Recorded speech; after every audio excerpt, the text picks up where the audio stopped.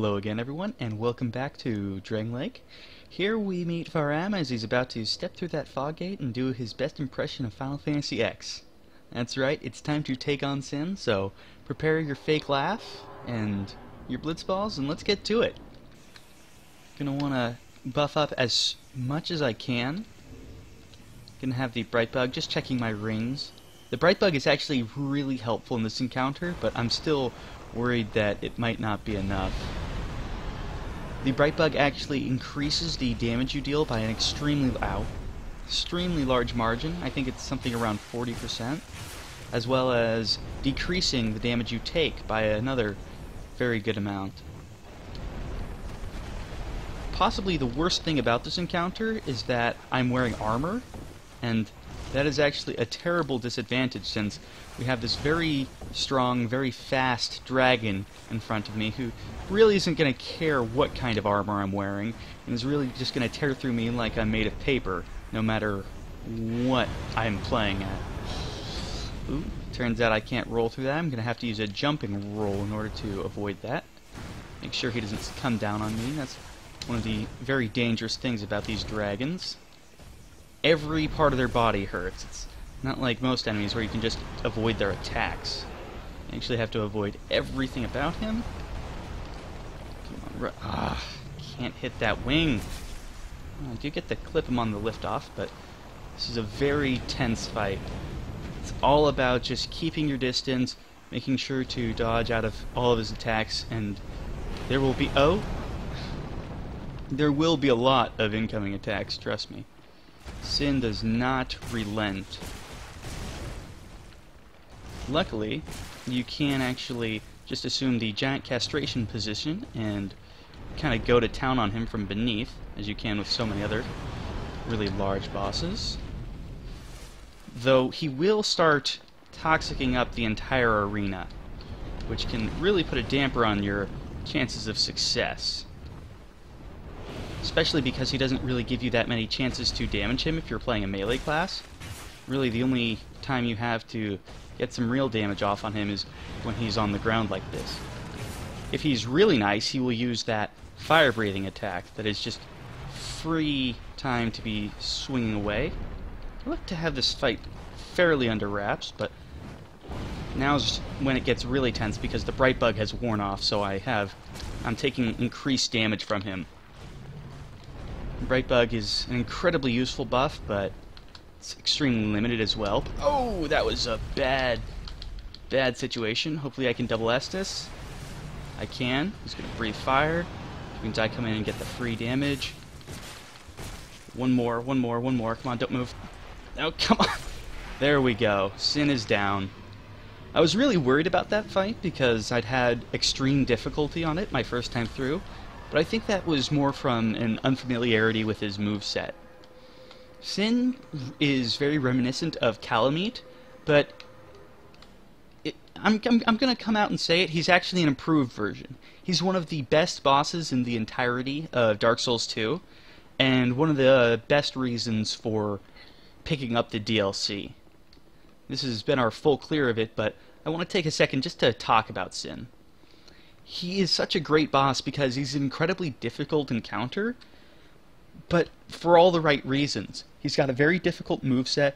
He's very unpredictable. He lays down big AoEs. He's very difficult to dodge. But once you have his patterns down, you can move around the boss fight. You can take a chance to heal when he's stuck in a certain animation. You you can play the encounter. Whereas some of the other bosses, it's it's very systematic. It's not dynamic. Take, for instance, the Ancient Dragon at the end of the base game. It's nowhere near as energetic as this fight. As I was saying a bit earlier, it's also very reminiscent of Kalameet in that. Oh, do I have all these souls? I believe I actually have all of the great souls, so I can head on through the King's Door after spending some level ups. But Sinh is extremely reminiscent of Kalameet in how his boss fight plays out. You've got a dragon flying around everywhere, giving you very few opportunities for damage, but I think they really fixed the fight, whereas Kalameet was a massive damage sponge that took forever to chop through. Sinh, as you saw right there, wasn't incredibly strong as far as health goes, but he did incredible amounts of damage, and when he struck, he struck hard and fast. Whereas Kalameet was this great big lumbering dragon that took forever to make a movement, and even when he did, it was fairly easy to see what was coming and roll out. Kalameet not only drags your camera left and right, he's constantly moving around the boss fight room, he's constantly swinging and even laying down environmental hazards, while Kalameet just kind of stood there, used a certain attack, waited for you to respond to that, then started up again. It, it was very slow, very methodical boss fight, whereas Sinh is an incredibly energetic boss fight. You're always running, you're always low on stamina, you're always trying to get off some more damage. Occasionally he'll play nice and use his forward fire breathing attack, but other times he'll just be the absolute dickens, especially if you're in melee combat. He has a tendency to just fly away and start carpet bombing you with his toxic fire. And even worse, he actually has a bit of a corrosive element to his fight. So you may have to bring in multiple weapons in order to make it through the fight with a legitimate amount of damage because your weapons are going to break if you stick at fighting him for any length of time. That really adds an entirely new dynamic to the fight where you can't just get used to this one weapon and its one move set. If your weapon breaks, you have to change out or you're done. You're a goner. Sinh is just such a very dynamic fight because it's always moving around, it's always changing. It's not all about memorizing a specific pattern and really just abusing the AI and making sure you're always playing safe. There is no safety. You can avoid dam the damage from every single one of Sinh's attacks, but it's difficult. They make you work for it. It's not like it is with Kalameet, where it's more of a, or even the Ancient Dragon. I think that Sinh is the best dragon fight because it's not a slog through a massive health bar, but it is extremely punishing.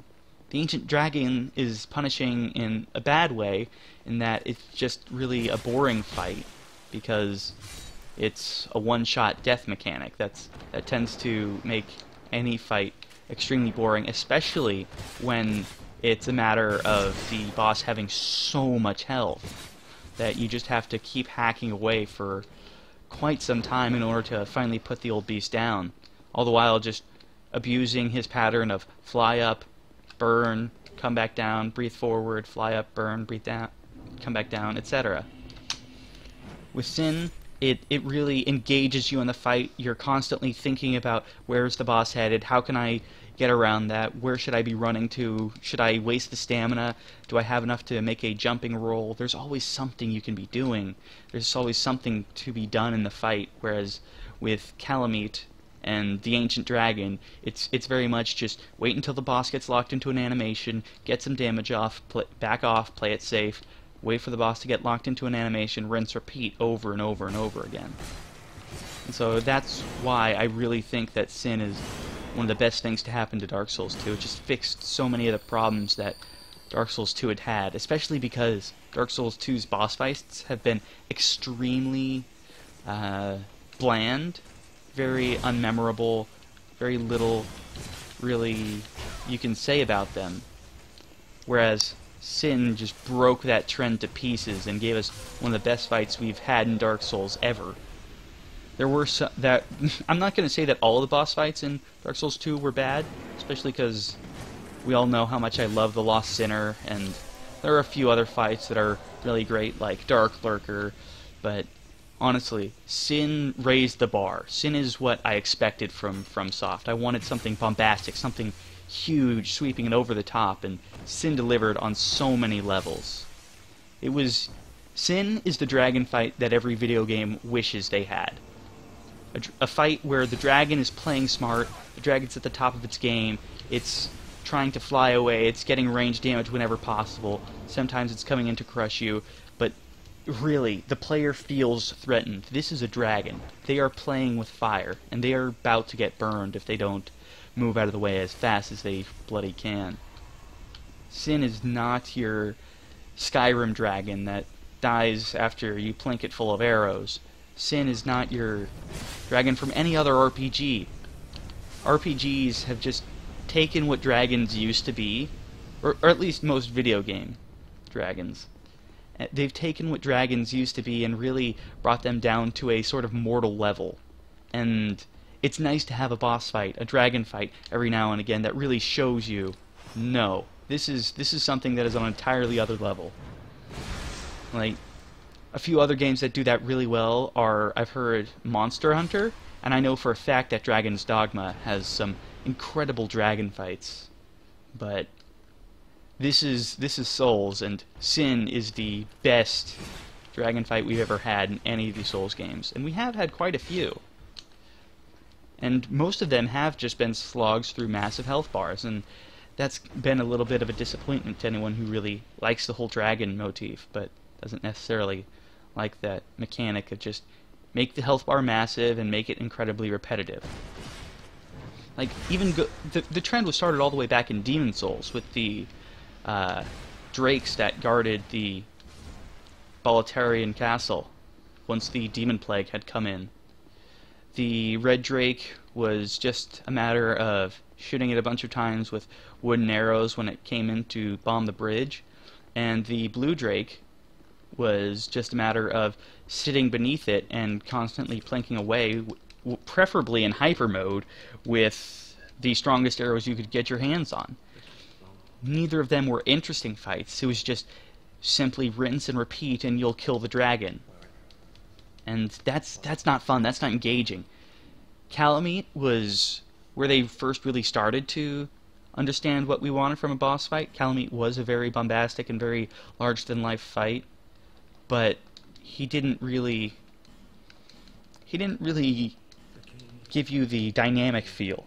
It felt very scripted. Like no matter what you were doing, Kalameet would come back with a singular move, and you could always avoid it very, very easily. That's the thing about Kalameet is that he wasn't uh, an incredibly difficult boss, but he did lots of damage, and he had lots of health, and especially if you wanted his tail, because by golly, I wanted his tail. Even if I was never going to use his tail on that playthrough, I wanted his tail every single time. Just because it has the capacity to be the strongest gouge weapon that deals purely physical damage. A weapon with no scaling that breaks the 400 attack point barrier with without any sorts of raw upgrade that was a weapon to have back in Dark Souls 1. That was a really fancy weapon, especially because it could be enchanted after that. There were almost no weapons that, especially really powerful boss type weapons, that could be enchanted, and it was one of them, and so that really made it stand out. Not only for its lack of necessary scaling, but just for the fact that it was one of the weapons that you could get that was going to be able to take advantage of Hidden Weapon.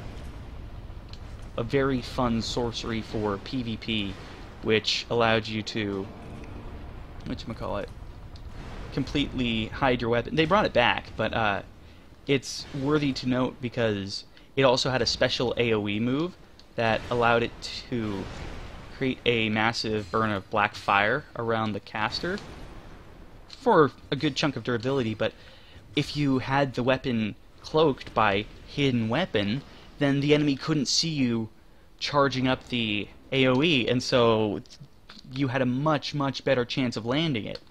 It was one of the best combos in the game, at least for trolling or having fun in PvP, and that really made it a fun weapon that I wanted to get whenever I had the chance. And again, I didn't manage to actually spend all too much time using it, but I still have really fond memories of it, and that's one of the other criticisms that there is in Dark Souls 2 is that there are no boss cut tail cuts, and while I don't know if that's a good thing or a bad thing. I, I'm gonna, I, I at least lean on the side of calling it a bad thing because those were a fun and interesting element boss fights that gave you a bit of a reward if you had the chops to beat it in a certain fashion. If you had the chops to not only kill the boss, but kill it by hacking away at its tail, yeah, you deserve a little something extra. And they were going to give it to you. Most of the tail weapons were rubbish, but You wanted them anyways because they were more than just a silly weapon. They were kind of a badge of honor for the fight. They were like, I beat this boss, but I beat it hard. I beat it so well that I could manage to spend most of the boss fight behind it just hacking away. I remember Seath's tail cut was the absolute dickens in the first game, just because he had those really sweeping AoE attacks, and if you stood behind it for any period of time, he would start swinging his tails around, which not only made them almost impossible to hit accurately, but also uh, basically turned the entire area behind him into a zone of death, where if you, you crossed into that section, you were basically going to get thwomped by one of his thrashing appendages. And boy, were there a lot of them. That's another thing about uh, Sinh that really harkens back to Dark Souls 1 is that the boss design in general, just the massive dragon with a spear sticking right through his chest. Like, good lord, that's so cool. I mean, it's an overused saying, but that's frickin' metal. That is really badass. And most of the bosses in Dark Souls 2 aren't badass. They're just kind of there. And that's one of the best things about Sinh, and the whole DLC really, is that a lot of the boss fights are really cool and really interesting and new. The DLC is one of the best things to happen to Dark Souls 2. Dark Souls 2 provided a really great base for the DLC in that it gave us wonderful new combat systems, much tighter controls, better weapon variety, and all that wonderful stuff.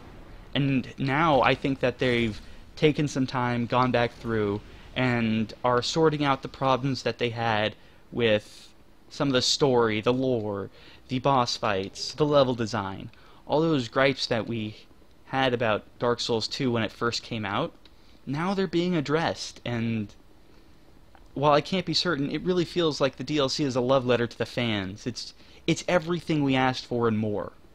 Sure, they added a few little cheap elements here and there, but what we gained in return is just so utterly worthwhile. I, I cannot gush enough about how good the Dark Souls 2 DLC is. This Crown of the Sunken King has been absolutely fantastic.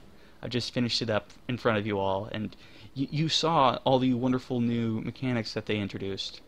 There's the uh, corpse ghost hollows. The they brought new sorcerers in. They gave you a counter to profound still, which can just wreck casters.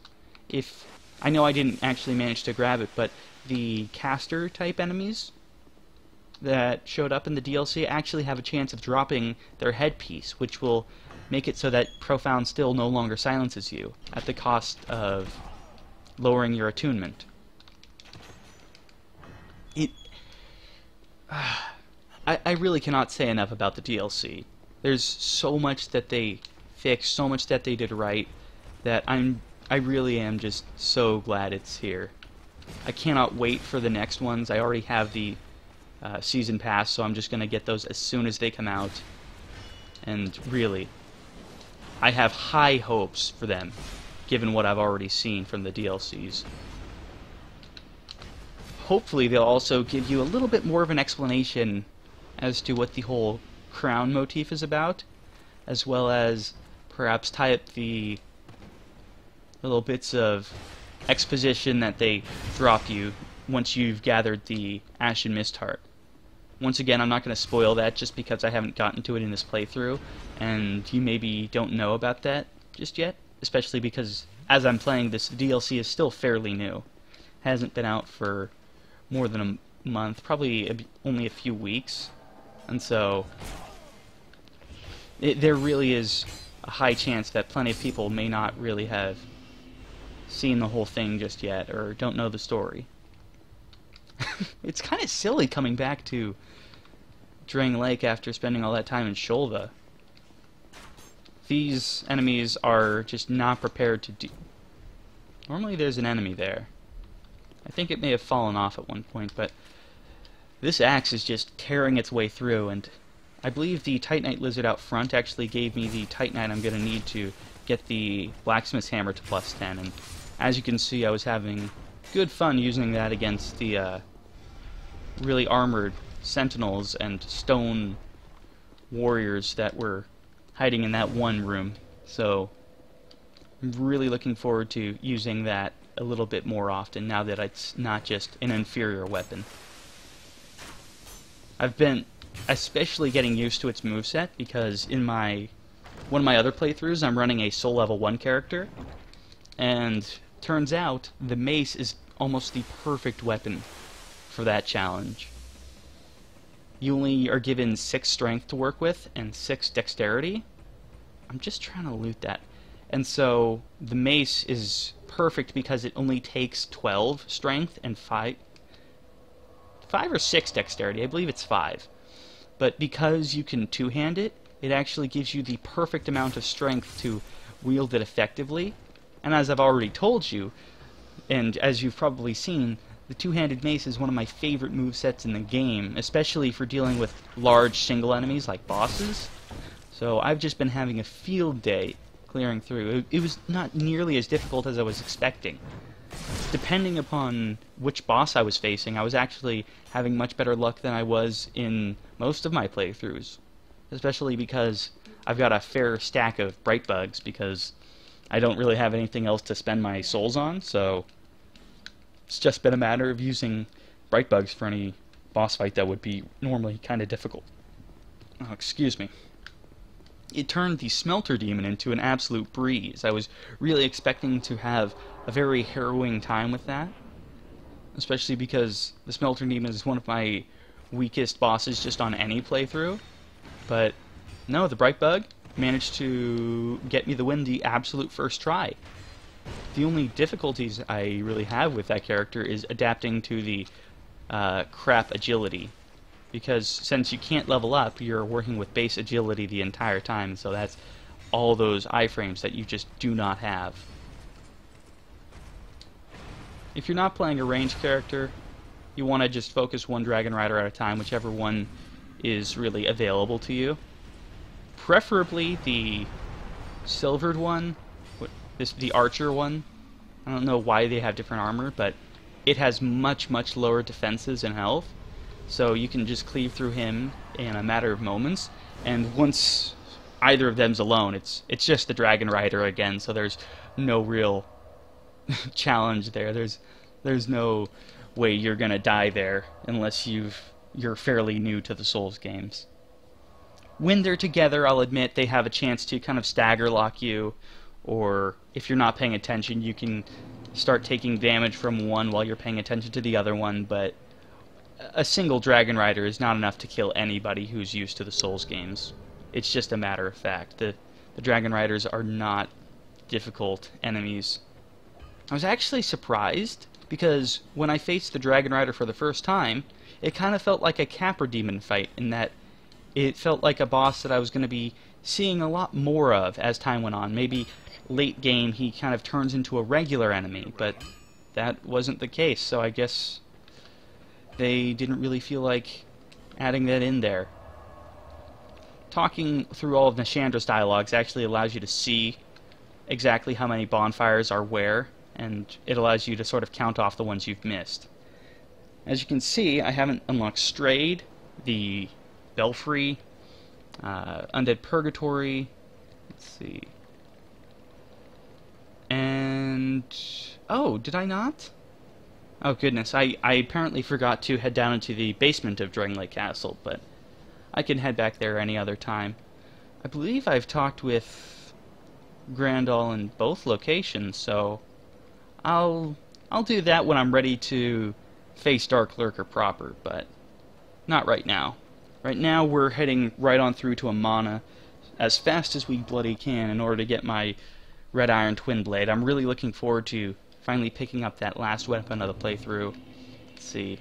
I've almost got enough chunks to upgrade it straight to plus 10, so I'm really looking forward to having that. Once I have that, the theme build will be complete, and I can sort of rest on my laurels with the build really at its peak efficiency.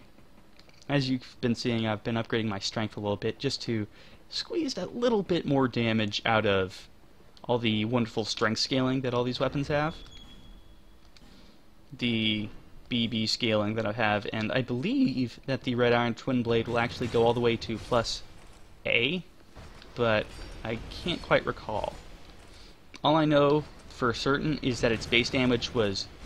Oh yeah, look at that blunt damage. Almost... Almost a full health bar in a single swing. Can I get it? No, I can't get it. But the Red Iron Twin Blade's base damage was buffed by a full 70 at max rank in the patch, so it's going to be extremely powerful. Once you've gotten him to move, you pretty much can just homeward bone out if you don't want to clear through the rest of the level. But look who you're talking to. I, I of course I'm going to clear through the rest of the level. I want every single little bit of loot here that I can grab, and believe me, there's a lot for me to grab. Thinking about it, I might actually consider not only grabbing the uh, armor that's down in the basement of Drangleic Castle, but also switching to it from time to time, depending upon which weapon set I'm using.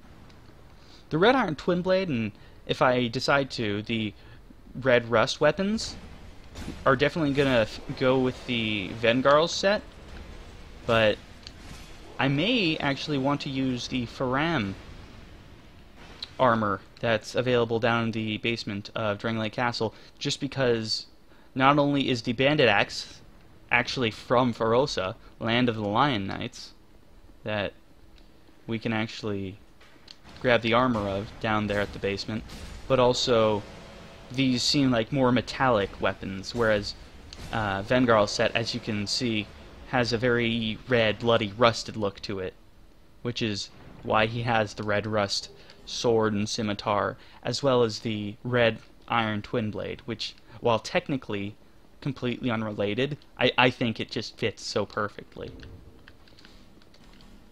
Just seeing if... Yeah, that, that actually may create some issues with my weight capacity, but I think that if I just focus on wielding the Red Iron Twin Blade while wearing Vengarl's set, and wielding the other two metallic weapons while wearing the Faraam set, that that might actually solve the problems that I'm thinking about.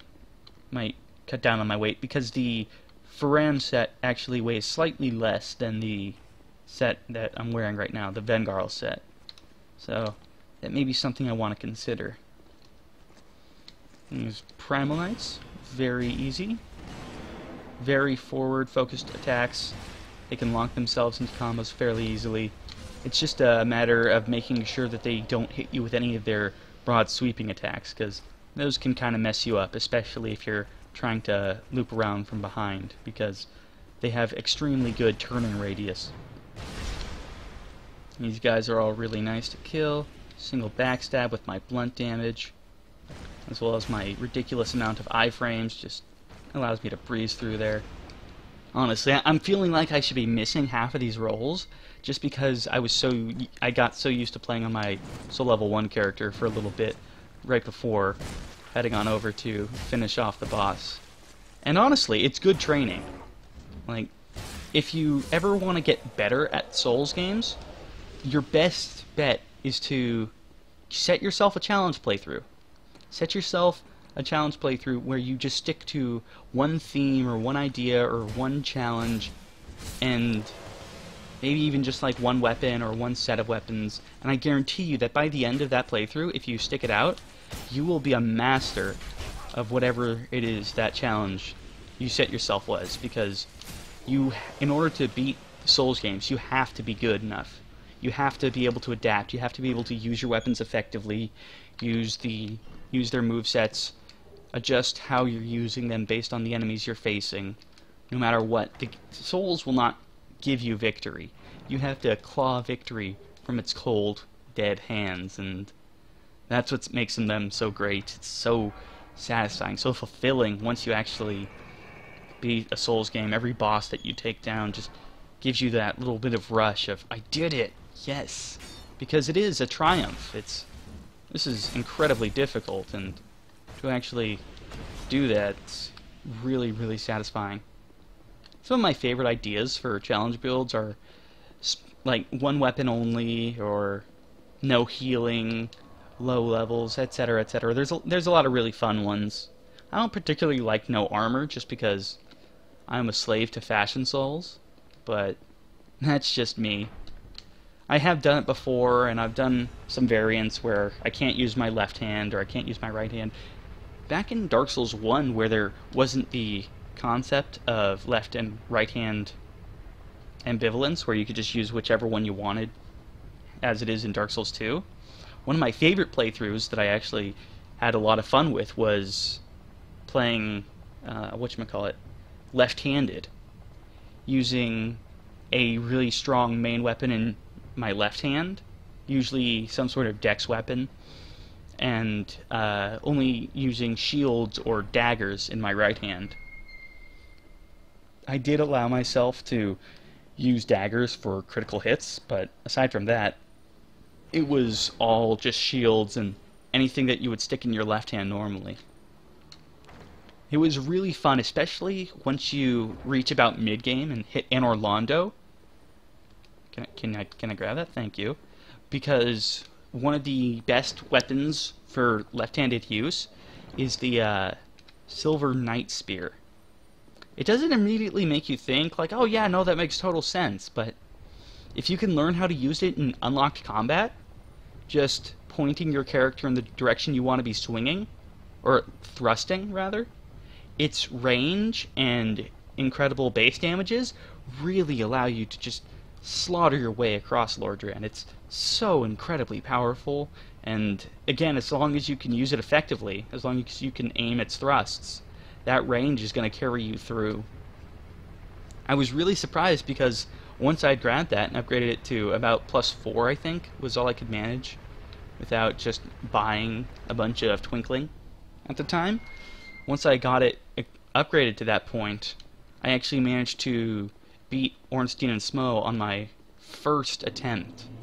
I was really happy because not only did I beat it on my first attempt using a left-handed character, but also without Estusing once. So it, it, that just really speaks to how versatile the uh, build was. Come on, I, I'm waiting for them to actually pop their heads up because if you actually break off their head, as you saw me do to the first one, it actually means that they have zero chance to drop anything, and they have some fairly nice drops. They can drop the Stone Twin Blade, which is pretty okay. I mean, it doesn't fit into this theme, but it's a powerful and extremely quick strength scaling Twin Blade, so that's already pretty nice. But they also can drop the Llewellyn set, which is incredibly lightweight and very, very strong defenses. It just has absolutely zero poise. And last but not least, they can also just drop Titanite slabs outright. And until the DLC came around, they used to be the best place to farm those. Not that you would ever really need to outside of like absolute endgame when you can buy infinite chunks, but the fact remains. Oh, ow. I'm playing so sloppy now just because I know that I'm pretty safe. But, uh, I'll adapt in just a little bit. It's this feeling of power of coming from a really low-level character all the way up to, oh, like, what am I, 126 or somewhere around there? It's extremely gratifying. And I know that going the other way is going to be incredibly jarring, but God, I feel so great right now. On my soul level 1 character, I already managed to clear my way through all the four great old ones and actually was at a very similar location in the game to this. It's just that I've been a little bit stuck in Shulva. Not only are the... have I just not even bothered heading towards the uh, gank boss fight just yet, just because I know they're going to tear me to shreds, but also I've had extreme difficulties just facing uh, Elana, I believe. Yeah, Elana, the Squalid Queen. Her summons make the fight just absolutely terrifying, no matter what she summons, even if it's just the skeletons. Having to deal with those three extra targets, if I can't just swat them all down in those first few moments, makes it absolutely terrible. Gives you an absolute terrible time of it, trying to face her while switching your target between the three and making sure no one's coming in range and you're not under threat from any of your angles is very, very difficult to do. And not to mention that her summoning Velstadt is basically a death sentence. Velstadt can crush you with very practiced ease and goodness. He just. It's very, very difficult fight once Velstadt gets involved. I'll, I'll just leave it at that. He's swinging away at you, you, you know your time is numbered. And honestly, it's it is still really fun, but it feels kind of unfair. Like the NPCs are at a distinct advantage just by the nature of numbers. And that's that's extremely difficult to deal with, especially since I, I'm running a challenge build of soul level 1. It's like, goodness, how do you deal with that? So much damage. This is always such an annoying secret. Sometimes I've actually fallen off there trying to melee that branch down just because I didn't want to deal with uh, the lobbable items, but I, I wasn't going to let that happen while I was recording. As you can see, you can sometimes get gypped of your animations depending upon whether or not there's something blocking you from walking in there. And while I get why they added that in, it's just kind of kind of annoying that they put that there it keeps you from heading up ladders. And as you saw earlier, as because I accidentally turned a certain way when I was opening a chest, it still gave me the loot animation, but I didn't actually grab the item, and so I had to waste a little bit of time doing that again. It's not a big gripe, but it's it's definitely there. Like you, you can't say that that's non-existent. Oh, that's that makes me happy that I can stagger these guys. The archdrakes are incredibly powerful, and so if, if you can stagger them, and especially if you can get the first hit, as you saw me do, then you may just have a chance of of kind of surviving intact because they are incredibly powerful enemies, and if you're not going in at full strength, you're probably going to get wrecked. Especially when it comes to facing them in numbers, which you're going to have to do in several occasions. Probably with a little bit of covering fire from the mages in this level later on. Especially because they set the most evil ambush possible right before a bonfire, just because that's how From likes to play their games. And believe me, From is playing games with you. One look at this level should tell you that just outright. From does not want you to come out of this alive, or at least sane. They kind of want you to come out of it alive, but hollow at the end of it. They want you to know that they killed you, and they killed you a lot. I think they kind of have a very sadistic mindset when making these games. And, of course, anyone playing, myself included, has to have a very masochistic mindset when playing them. So I think it complements itself rather nicely. It's a vicious cycle but I'm not really complaining, at least right now. There are a few things I complain about, as I'm sure you've heard by now at least, but really, for all my complaining, Dark Souls 2 is a masterwork of a game. It, it's incredibly impressive mechanically. Like, it just fixes so much that was wrong with Dark Souls 1. Like, the durability mechanic being absolutely useless. The combat's been shorn up. The weapons are incredibly more diverse. The Tight Titanite system has been made more manageable. There's there's so much that's better that sometimes we just kind of forget about it while we focus on the little details that are worse, like the actual story and some of the enemy designs and a lot of the level designs, but it there's a give and take. I wouldn't say that it's necessarily a better you know what, maybe I would. I'm I'm gonna say that I wouldn't, but a case could be made that Dark Souls 2 is a better game than Dark Souls 1, and I can say for certain that you couldn't say Dark Souls 2 has a better story than Dark Souls 1, but at the same time, I can also say for certain that Dark Souls 2 handles better than Dark Souls 1. So it it really depends on where you place the value in your game. And while I am incredibly story driven, at the same time, I play Dark Souls for playing Dark Souls. The immense weight behind the combat, the fluidity there, the real dynamic fighting, the weightiness, the satisfaction you get when you come out ahead.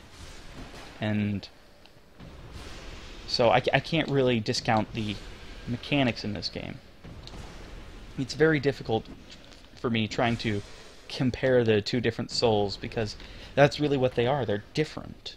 Neither one is necessarily better than the other, but they're both so good. And I guess it really just comes down to which you played first, what what's more nostalgic, whether you're in it for the lore, you're in it for the gameplay, or what have you. Whether the little odds and ends that are wrong with Dark Souls 2 stick out more for you than the things that are right or what. It, it, it very much is a personal choice whether or not you like Dark Souls 1 or Dark Souls 2 better. And I've seen a lot of hate and a lot of hypercritical mentalities been focused on Dark Souls 2 recently, and I, I, I can't really agree with those. I think that it's a very incredibly enjoyable game to play, and I wouldn't play it if I didn't think that. It's definitely worth the money I spent and the time I've spent on it, and I look forward to what more I can do with it. It's really great. Once I get my strength to 50, that puts me at level 140, which gives me just enough to increase attunement to 13 if I want to be sticking below the 150 soul cap, and I think I'm gonna. Like, this character I might want to actually take into PvP once I'm done with this playthrough, especially because it's a very fun theme build. I don't like doing non-theme builds in PvP. I mean, I'm not the best, but I'm not the worst, and so it makes me feel a lot better if I can win playing with a gimmick or some sort of cosplay.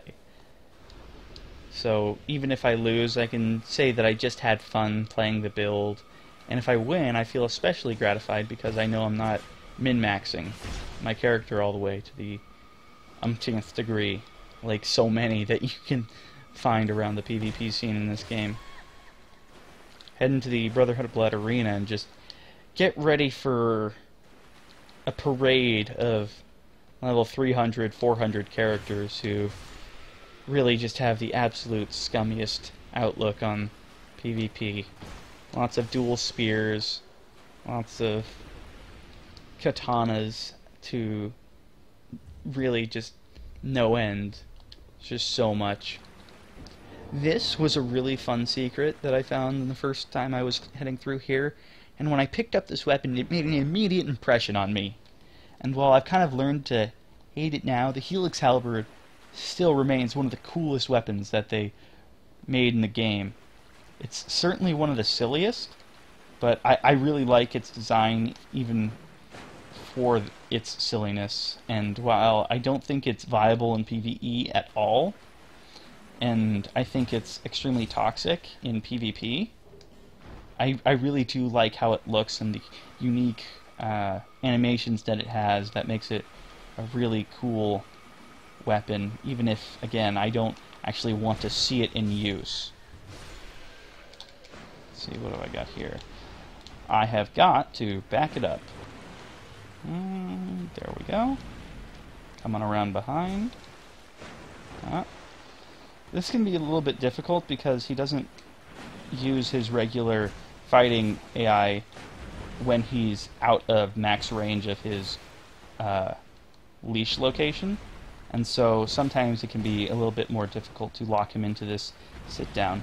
As you can see, the first thing he does when he stands up is takes a few steps back towards his spawn location, because at this area right here, he feels like he needs to leash back. That's what his AI is telling him. And once he reaches just within proper leash range, he is ready to fight again and can sit backwards on me, whiff horribly, and just give me more damage. But if you catch him on the edge like that, sometimes his AI can act a little bit wonky and he can start using his regular attacks when he should be sitting down and it makes him a little bit unpredictable, which I suppose is something that either should be lauded or maybe FromSoft didn't even think of it and it just kind of happened. But either way, it makes it a much more interesting fight than most of the other ogres that you can actually face. As you can see, little priestess there was really nice and dropped a twinkling titanite. This entire area is an incredible place for farming that if you need more than the DLC offered you. As you can clearly see, I there's really is no end of things I can praise about the DLC. The DLC even fixed the problems with Special Titanite, giving you just incredible amounts of both Twinkling and Petrified Dragon Bone. It's like, what more did you want, people? It, it really hypes me up for what we're going to be seeing out of the next two DLCs that I've got coming my way. Because really, if, if you sat me down to write a wish list of what I could have wanted from the DLC, it would have been better bosses, better level design, more Titanite, and some really unique weapons to mix up the game. And check, check, check, check, we get all of that from the DLC. So much is really there. I, I, I would go as far as to say that if you're going to pick up Dark Souls 2, ever, then you, you really should buy the DLC. I cannot imagine a reason why you would have Dark Souls 2 and not have at least the Crown of the Sunken King. I'll consider the Crown of the Ivory King and the Crown of the Iron King when they come out, but right now I can tell you with complete and unabashed sincerity that the Crown of the Sunken King has been one of my favorite DLC experiences ever, really. Oh, bollocks. There we go.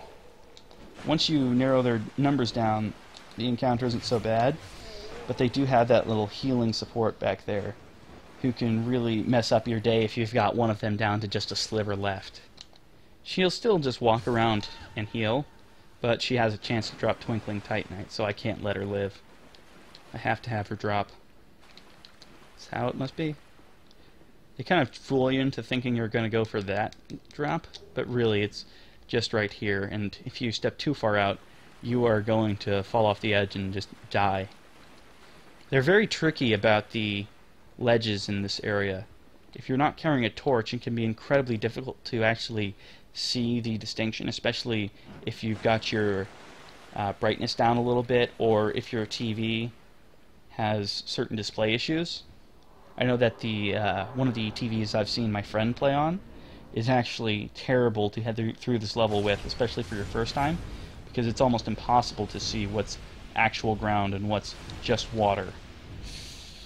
I am going to tag this bonfire here, but I'm not going to rest at it because I'm to carry its torch all the way back to uh, the level a little bit back there because there's one little side secret that I have the ability to pick up and didn't my first time through. There's an Estus shard as well as a Miracle Sunlight Blade back there that I want to grab just because they're there and I don't have them, I'll be honest. Since I picked up the Estus shard from Drangleic Castle, I'm already going to have my full 12 Estus next time I visit Majula and actually remember. So I don't really need it for that. But there's also a Soul of a Brave Warrior, if I remember correctly, hidden among these ruins here. So there are a few things to come back for. Let's see, it should be over there. Come on up. I really should have grabbed this coming through the first time. And no, it's a fire seed. Which, again, may be something I need, considering I'm going to have those extra points to spend. Again, the best ideas for them would either be vitality, vigor, probably not endurance, and I, I guess, again, I could bump my attunement all the way up to 13 and give me myself a pair of spellcasts. I really wish I could remember how many spellcasts Flame Weapon took, because I think that would be the most ideal way to fill those slots. But if it's anything like, uh, what should we call it? No, I think it might be okay. I don't, I don't know. I'm going to have to look. but then again, that's also a New Game Plus boss soul, so I'm not going to have access to that for quite some time. Unless I want to actually go back and ascetic that fight, which is honestly a terrible idea. That is one of the boss fights that you never ever want to have to redo. Ever. It's just terrible. It's it's wonderful the first time, but in all the new game cycles, the Lost Sinner has a pair of pyromancers that join her, and it just turns the fight into an absolute mess. It takes away the really clean, focused, forward gameplay that the Lost Sinner had, and replaces it with just a completely chaotic, ramshackle fight of just running around trying to control the pyromancers, avoid their just spamming of abilities, and also dodge your way around the Lost Sinner, who is out for your blood with a complete vengeance, replete with bonus health, bonus damage, and the will to just mess your ass up. It is, is intimidating, to say the least. Uh, can I kill these guys with a strong attack? I wonder. Now that I've killed one of them, I can back off, and Kindler is going to be... Oh, he's here. He sees me and he wants me. The best idea is to run immediately back once you've brought Kindler up, because he's going to try and rip your face off with his own little bunch of sorceries and hexes. And as you can see, he's got actually quite the powerful array. Why he bothers to stick behind that shield is beyond me, but I'll take it. Now I can come back out here again and begin dodging these Shrine Maidens. I don't know if I discussed it while I was heading through the level proper, but the best way to dodge any sorts of magical attacks like theirs, especially without dodging, is to, well, I did dodge there, but that was because, oh,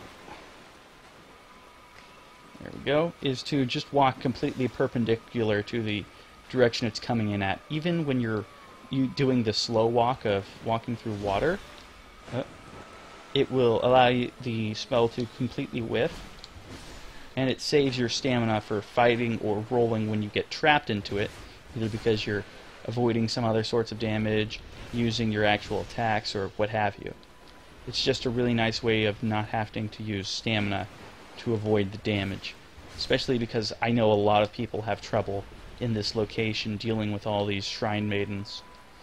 And I, I can understand that.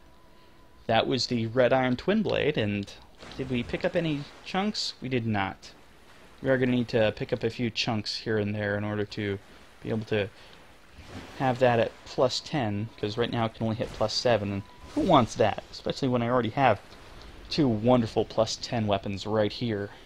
So, that's going to be my next mission, but I'm pretty sure that Chloanne will start selling those once I... soon, if not already. I think that the trigger for selling the limited quantity of that is either killing Velstadt or it's killing uh, the Looking Glass Knight. I could be wrong, but we'll have to check because oh, before I actually head out, I am just going to grab that as well as the item on the little pillar back there. But after that, I believe that's all the enemies in this area, and I can head right on through to the final boss, who is a complete pushover honestly, he has about two attacks in his entire repertoire that can actually be considered threatening. And aside from that, it's just walk away when he wants to try hitting you, and walk back once he's resting from that. It's a very uh, silly boss fight. It's cool looking, but it, it feels like a failed concept because it is such an ineffectual boss Uh, you're, you're really left wondering what the devs really intended with this fight. Because whatever it is they were intending, they did they did not succeed. I have a, a sneaking suspicion, and it's actually based on something from Japanese mythology, but I don't actually have the background to confirm or deny that. And even so, it doesn't make a very interesting boss fight It's very bland. The boss looks kind of interesting, but at the same time, you could also make the criticism that it just looks disgusting and boring. It's an interesting idea, but again, it's eh. The bosses are not where Dark Souls 2 shines, so don't bother focusing on them. Just walk away. Oh, he's resting. Slash, slash, slash, slash. Unload all that stamina. Oh, he's coming out of his shell. Now he's going to be resting. Slash, slash, slash, slash. Oh, he's coming out of his shell. Oh, guess what? He's resting again. Slash, slash, slash, slash. Let's see. Is he gonna come out of his shell? He he is, guys. Oh, he's gonna do something. Oh. Oh, you see, that was one of his two dangerous attacks. The other one is where he actually shoots a jet of water in front of him because it's very poorly telegraphed. Uh, bash, bash. Sometimes he turns that into a three-hit combo, so watch out. and yeah, he just kind of is a flop. That's the best way I can describe him. That boss is a flop. Grab his wonderful loot and head on through. The one thing I will say is that they give you a kind of cool weapon for that fight. The key to the embedded. It's a complete joke weapon, but it has the really nice greatsword move set. And it while it can't be upgraded, it was just buffed in the most recent patch. So it, it, it is a fun weapon to use, if only for really gimmicky Fight Club type builds, because take this out into the open fields of PvP and you are going to get your Estus handed to you. But if you're going up into against another player with a Keyblade, it's it's kind of just a fun weapon to wield, especially because the reward you get for giving it up isn't really worthwhile. Like, there's nothing particularly special for, about the rewards you can get from the uh, Mana Shrine over there, so I wouldn't, in, unless I specifically wanted something out of there, like the Manslayer. And even then, you can get that without, uh, without releasing the Milfanito back in Drangleic Castle. So, I don't know. It's just a fun weapon. It, it really exemplifies the idea of joke weapons that kind of make their way through Souls games. The puzzling sword, I'm just going to mess around with because I'm waiting on the elevator. It's a cool weapon. Funnily enough, it can actually be used by Soul Level 1 characters because while you're going to get really crap damage out of it, it still has the 6 dex requirement that is so important for Soul Level 1 characters, as well as only needing 7 strength. So, if you ever get the hankering to use a really interesting kind of long-ranged weapon, you can use its two-handed strong attacks as a really long-range thrust on your soul level 1 characters. It's just an interesting weapon that you might want to pull out every now and again. Maybe if you want that little bit of extra range. I can see certain cases where it could actually be extremely useful, like dealing with certain NPC phantoms, because I, for one, had an absolute horrible time facing Jester Thomas on my soul level 1 build. I just barely managed to face off against him, and honestly, he he's more difficult than most of the bosses at soul level 1. I had extreme difficulties with him just because of how fast his animations were, how little stamina I had, how little damage I had, and how much poise he just had for absolutely no reason. That's my 50 strength.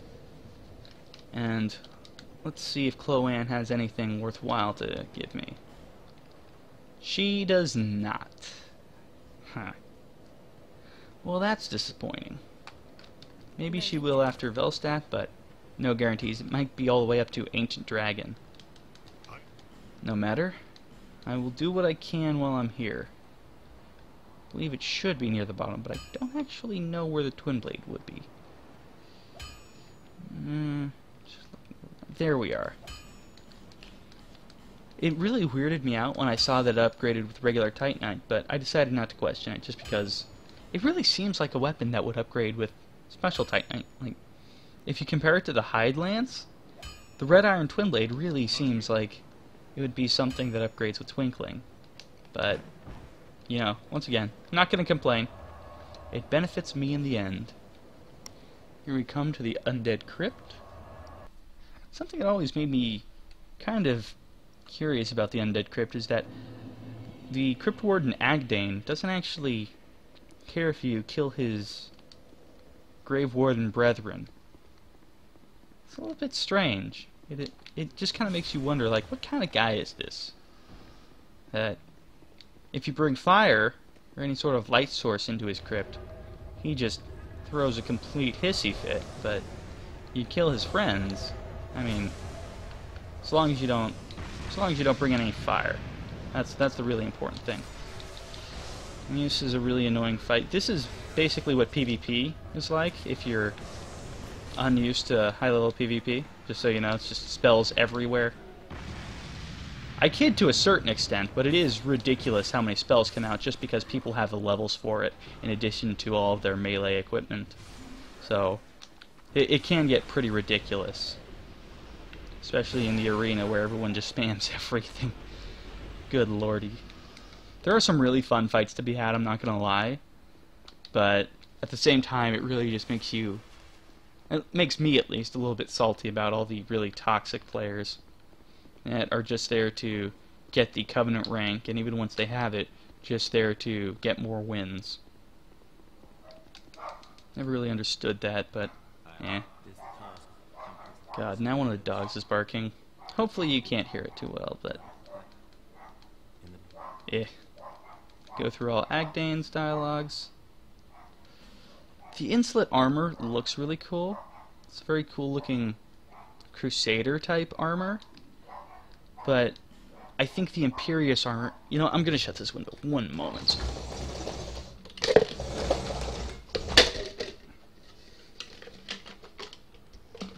There we have it. All solved. But at the same time, it just kind of leaves something lacking. It feels a bit too clean for the kind of look that I would expect. And so, I don't really think it all that worthwhile. Just learn his gesture because I'm here. He has nothing important for me right now, but if I talk to him later, he will actually have something quite nice. He will fork over all of his equipment, as well as his Dark Drift, which cannot be acquired any other way if I'm not mistaken. Just gonna get the stagger off on him, give myself some breathing room. There we are with the wrap around, and we're almost halfway there. I hope that the uh, hammer that I have here will be enough to take out the statues in only three hits, but I cannot be guaranteed of that, though I can hope. Wait for him to be done with that. Come in, two hits for the stun, and three hits for the kill. It's really nice. Syan gauntlets. oh, that's funny. Uh, a while ago, I was helping my friend farm for Syan gauntlets. Well, for the full Syan set. And we actually managed to make the Syans stop spawning in his world at the end of the Undead Crypt. We had killed them so much, and yet we could not, for the life of us, get them to drop the Syan gauntlets. They would drop every other piece of their gear from their halberds to their swords to their armor, everything except for the gauntlets. And so every time they drop the Syan gauntlets now, it just feels like a little bit of a slap to the face. Like, really? Really? Now you're going to give it to him, Mike? Be that way. Come on down here, because as much as Agdayne doesn't want light in his little tiny room, he doesn't mind if you bring light to the rest of the crypt at large. So, come down here, light that off, and now you've spread fire throughout his domain. Whatever shall he do? The answer is sit tight in that little room, because he doesn't really care about the crypt at large. It's just his little area that he's concerned with. Get another soul vessel for all of you people out there who want to respec this late into the game. I'm sure there's plenty. Let's grab this, Soul of a Hero, and it has the courtesy to dump you off right here at the bonfire. Isn't that kind? Now, while it does do that, it also drops you off at the bonfire right next to a room of hostile enemies and infinitely resummoning hollows and ghost mages, but, you know, don't look a gift horse in the mouth.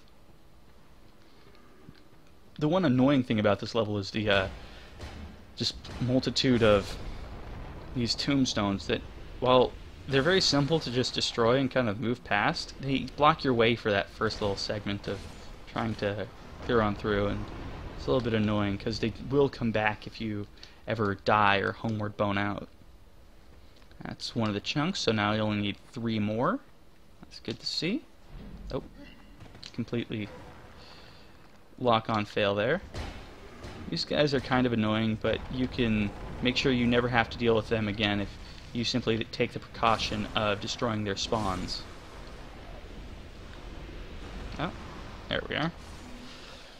As long as you make sure to do that on all the rooms you're clearing through, you shouldn't really have any difficulties. As well as you can skip most of the enemies in here by just running right over here and heading up the ladder. This also allows you to kill this little lady before she causes too much trouble for you, unless you hit her off the edge, at which point you'll have to deal with her a little bit later, right after you grab this. This is the first location of the dried fingers, and so you kind of have to come at least this far if you want to be hosting PvP in your own world with any measure of regularity because otherwise you're never going to be able to get enough uh, time in the vulnerable zone. Because the way summoning works is I mean the way invading works is they kind of put you on a list. And so whoever's at the top of the list gets the next invasion. And every time you get invaded it kind of bumps you all the way down to the bottom of the list. However you can kind of override that by using the dried finger as kind of a way of telling the system that you want to be PvPing, and it will take that into account and bump you up. It will undo the basically the timer reset that keeps you safe from invasions for a little while. So even new players who can't deal with invasions at all, they still have a chance of going throughout the level unmolested just because every once they've been invaded once, they kind of have a little bit of a safety timer until they can get wrecked again. And after a nice little regime of doing that over and over and over again, they'll finally get good like the rest of us and be ready to come into their own in PvP. Hopefully paying a little bit of homage to those who came before them with a little giant dad cosplay here or there. Just something to remember us by, I suppose. I like to kill these spirits before I deal with these two, just because they kind of annoy me. Knock three times, and they will finally... Oh, no, no, no, no, no. I do not want them to just be batting me about back and forth. Oh. You really need to manage your distance with these two because their hits are going to stagger you no matter what. Like, these are not lightweight enemies. Oh, got Orma's Great Shield. Oh, because I actually have 50 strength, I could dual wield their Great Shields if they deign to give those to me, but uh, we'll have to see if they're that kind. This is just one of my least favorite encounters in the... Oh, God least favorite encounters in the game just because there's so many of these mages and they just don't stop spawning because the little zombie hollows keep ringing the oh I ran the wrong way too. Let's see if I can just I'm gonna run out of here and come back once I've rested at the bonfire. No I'm, I can kill this one while I'm here. There we go. Want to just wreck as many of those as you can before you just run on out because honestly I think running is the best strategy there. You don't want to face five mages coming, five of those ghost mages coming at you all at once when you could just bugger off and face them again once they've been thinned down a few. Especially because their statues won't regenerate even when you die or rest at a bonfire. So it, it really sets you up to have a much nicer time down there if you just kill a few statues, come back, kill a few more. It's, there's no penalty to you, and your weapon's going to be reset. You can just walk across the shortcut you've already activated, and it just really removes a lot of the risk involved with this encounter, and that's what Dark Souls is about for the most part, is limiting the risk factor as well, maximizing your own benefits. Come on through. I believe there's one more. Well, that's the bell. So is it down here? Yeah. Oh. Mucked that up, but it's okay. Here we are.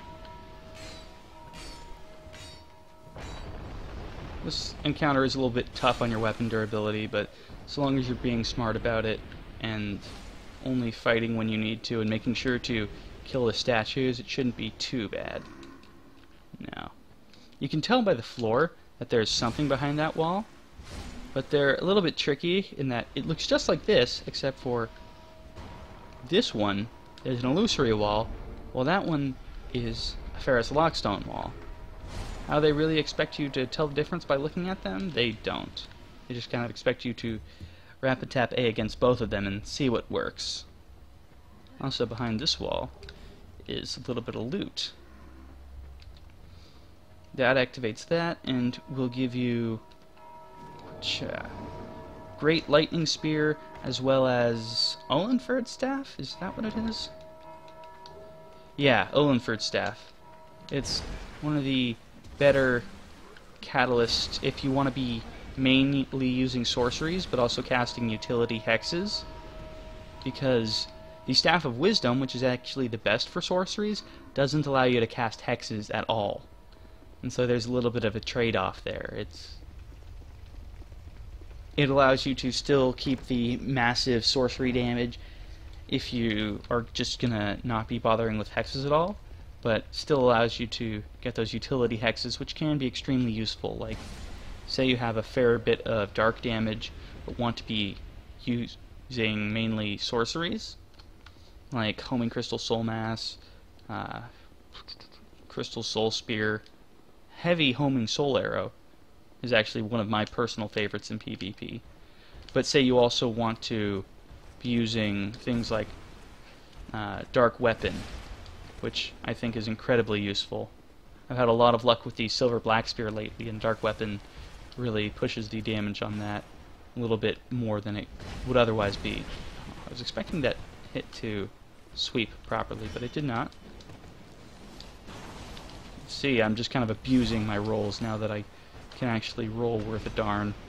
And while it's not particularly skillful play, God, it feels so good to have that freedom to just roll whichever way I want and know I'm going to be safe. Really, really makes me happy. Especially because even when I get hit, my armor, because it's so ridiculously powerful after all those titanite, twinkling titanite I pumped into it, is actually doing a really good job of conserving my Estus even though I'm playing sloppy. Gonna run right on through. Make them whiff. Get the stagger. Whiff. I want you to whiff. I want you to... Fine. The range on that is deceptive. It looks like it's... God, I just want to... I just want a shield break. Is that too much to ask? Oh, and it gives me the backstab. Whatever, I'll take it. Still gets me the kill. Sadly, even if you shield break these guys, you can almost never come in for the shield break riposte. I don't know what it is, but something about how they actually take the hit to their shield kind of disallows that. Come on around. Rolls. There we go. For some reason, it likes to give me the backstabs after they're basically dead, so... I'll, I'll just take that as a sign that the game wants them extra dead. Finish him off. I kind of brushed past it, but that hollow under the stairs there, really important to take him out, otherwise he's going to constantly be ringing that bell. I haven't put two and two together yet. Ringing those bells summons the uh, little ghosts out of their gravestones, and there's actually gravestones in four specific locations along this path that, while they're indestructible, will continually summon little devil spirits ad nauseum. Just gonna buff up because we've got a particularly difficult fight right here, and I just want as much damage as possible. But I think I can do it with just 8 Estus. Velstadt proper this time, not the mock-up that... Oh, bollocks. The mock-up that Elana brings to bear on you. All those rolls. It's completely wasting stamina, but so much iframes. Ah, oh, it's such a relief. Really, it is. Oh, come now. Now you're just being mean. Here we go. Taking me a second to kind of get back into the roll of things, but here we are. This should send him buffing. Yes. This is going to double his health and damage, basically, but gives me plenty of free time to just swing away. So, feel free. What?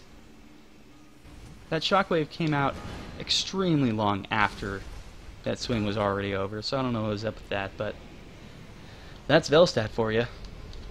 If you have a, an incredibly powerful weapon like this, or if you're just really, really leveled for this section of the game, you can clear him without difficulties. One of Shanalotte's manifestations here, here to guide you onwards. I think it's fairly well established at this point that that's not actually Shanalotte, just one of her illusions that she kind of sends around. It is arguable whether or not you meet the legitimate Shanalotte anywhere, but hmm, who can say? It's one of those really questionable bits that they haven't really established yet, like where is Aldia? Or what exactly are the four great old ones referred to that the souls Vendrick built this land upon? Those are just such ambiguous lines that doesn't really give you a whole lot to go off of. Hmm. I've got. I could take attunement yeah, I think at this point I'm just going to pump attunement because I have nothing better to do with the stats. Oh, that's interesting. Once I do that, I can actually soul vessel down and take a few points out of adaptability because attunement does actually give you a few points into agility. And so, since I don't need any more agility past 105, I can just reduce my adaptability by a few points and redistribute those into actual combat stats that are going to help me out in real fights as opposed to just kind of sitting there looking pretty as part of adaptability. Though technically, if you want to be persnickety, then adaptability does increase my resistances and poise by a little bit, but it's it's not worthwhile. That's not what you get adaptability for. Now that I've... Did I grab the ring? Tell me I grabbed the ring. Yes, I, I did grab the King's Ring. I got a little bit worried there. The King's Ring is an interesting item, and there's a lot you could theorize about it, but I think that PariahdigmShift actually has it the most spot on, and I think that he has really, really great interpretations of the lore in this game. He's not perfect, like, I don't agree with everything he says, but more than enough of it to make it a worthwhile to recommend him. I think his entire theory on the King's Ring, as I just said, is in- incredibly well thought out and really explains a few bits of lore that really are kind of ambiguous. Like, why is the King's Ring here? How does it work? What are these doors? Why is the Lord Vessel sitting in the basement in Majula? It's a lot of really interesting questions that maybe don't have an answer, but quite possibly do have an answer, and quite possibly a damn good one, if Pariahdigm is to be believed. So, let's head on through here. Take a look at the little insignia upon this door. See if you can make out any figures or any sort of theme pictures, maybe.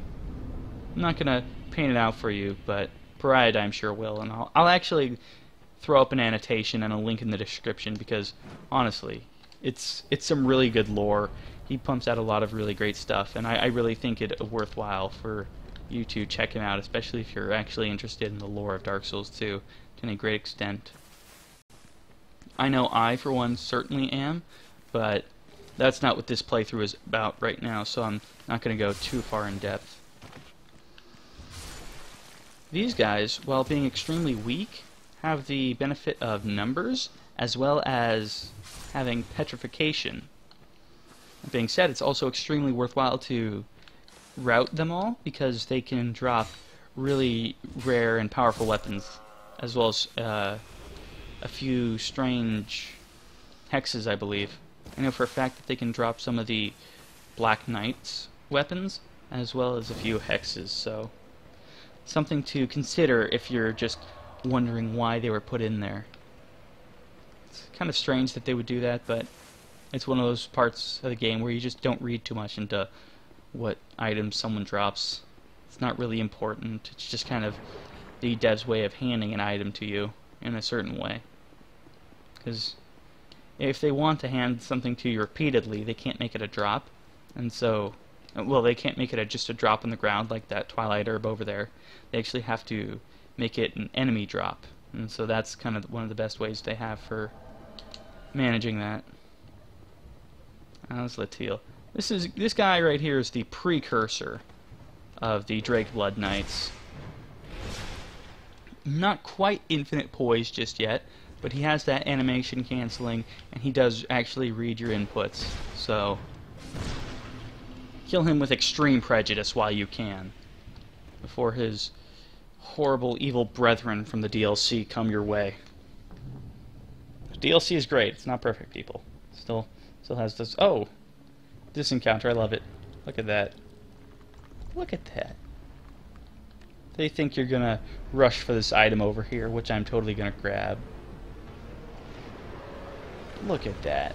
That is a cool introduction. I was so sad when the skeleton faded away. I really wanted it to just stick around forever. But no such luck. I'm not going to bother with Navlaan over there, the Royal Sorcerer, just because I don't have... I'm, I mean, I'm not hollow right now. And so he's not going to actually give me any sort of useful quest. Not that I could do anything with any of the things that he's going to give me either, but uh, just for consideration. I messed up the backstab being a little bit too overzealous, so now I just get to throw him around a little bit. Their AI just gets so wonky when you take them on before they're actually fully in the world.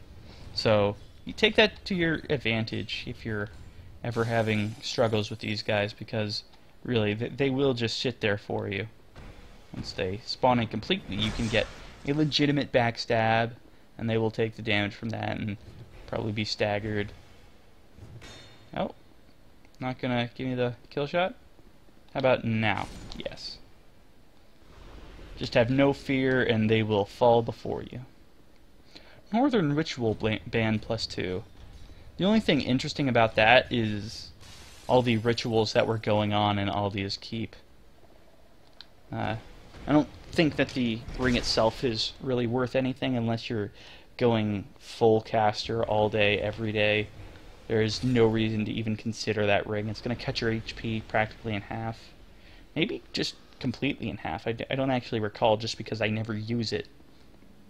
Paying HP for more uses is just a silly idea, especially when you can get the Southern Ritual Band plus 2 from Asceticing Najka's fight and that will give you three extra attunements, not just extra uses on the spells that you already have attuned. So, unless you're using very extremely rare sorceries and miracles and hexes and pyromancies, especially ones that maybe have very limited uses like God's Wrath or Forbidden Sun, don't ever bother with that just because it's completely worthless. He's nice and backs up for you, allowing you to swirl around. Uh, now he's in a little bit of a frustrating spot, but as long as I manipulate it properly, I should be able to use my iframes to get out of that. Yeah, there we go. Drag him over to an area where I can still fight him while he does his little sit-down tantrum. Gonna have to come over. Still worth it for the hit, especially because it keeps him locked in this little pattern, and now he's in the middle of the room where I can just wail away on him with no recourse on his end. He gives you the drop. Yes, the Dragon Acolyte mask. Just gonna show it off because one of my absolute favorite bits of Fashion Souls in the game. Doesn't necessarily go with everything, but it has quite a few really good pairings, and I think it just is such a good looking piece of armor. My absolute ideal Fashion Souls that I go to with a lot of my builds just at one time or another is that Dragon Acolyte mask, the Ladia White robes from the Ladia uh, magicians that we fought in the Undead Crypt, as well as the Throne Defender gauntlets and the Archdrake boots. I'm gonna end this episode fairly soon. I think I may have gone over time a little bit, but it's been a really fun episode. It's really been engaging, so I don't think I'm gonna be complaining too much. Hopefully you'll manage to sit through it all right we come again against one of these really large basilisks, but it's the same as the first one. I didn't bother stocking up on any poison throwing knives, and they're not in my inventory right now, so I'm just gonna deal with him the old-fashioned way. Drag him into locking himself into animations, and then just bash away from behind. There's nothing down either of these side alleys, so either down there or up here, so there's no point in heading down there. I'm gonna head to the bonfire and then just immediately quit out once I've made myself safe and repaired my weapons. I think that's fair. Especially because the bonfire is basically the hub of this second half of the level. These wonderful, wonderful men hiding behind these back paintings. And I get the bone shield, which while a complete crap shield looks so amazing with the fashion souls I just described, if you're going for weapon fashion souls in addition to armor, then you get to add the bone shield and the mannequin knife to the aforementioned setup, and you just look like death incarnate. You are coming for somebody's soul, and you're gonna leave with it, by golly. Such an amazing looking setup. Oh, I think I may have come too far. I've definitely come too far, but not an issue. I can just head right back down this hallway. Not deal with any of these guys. Doorway should be right here. Come on through. Clearly, someone is having a bit of a difficulty with that lime Gatorade, but who am I to judge? Grab the lockstone, grab the secret door, Right behind here is, boom, bonfire. Light it up. Repair everything.